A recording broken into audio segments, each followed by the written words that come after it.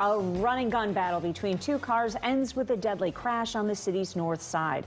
Now police are trying to find the people involved. Good evening. I'm Julie Unruh in for Jackie Bange tonight. And I'm Tahman Bradley. Thanks for joining us. WGN's Judy Wang has our top story tonight. Shots fired, followed by a fatal hit and run.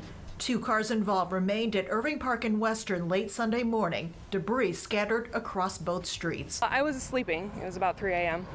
and I thought I heard gunshots, so I woke up. And then I thought at the same time I heard crashes, so I was like, what was that? Police are trying to determine whether people in a gray Toyota sedan and a black sedan were shooting at each other while going westbound on Irving Park Road near Damen.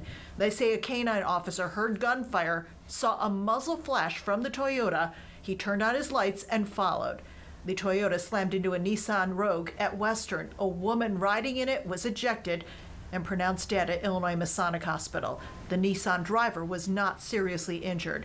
People in the Toyota ran off. Investigators recovered a gun. The Nissan was traveling northbound here on uh, Western Avenue, and it was just uh, struck. It was um, going through the intersection at Western and Irving Park. It was innocent people. We're still looking at video and trying to piece it all together. Um, if there was another car indeed, or an individual that was also there, and it was going back and forth. Wednesday, occupants of two moving cars fired at each other in the Fulton Market District. Five people, most of them innocent bystanders, were shot. Police continue searching for suspects. It's, it's just getting more ridiculous.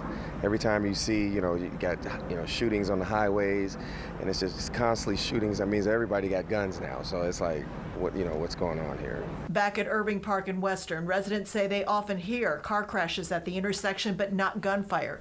Some have stopped going out after a certain hour. It's a very safe place. Um, I'm not surprised because of all the shootings going on. My fear was, is that now it's coming up to this side of town, so to speak. Police are still trying to determine how many people may have been involved. On the north side, Judy Wang, WGN News.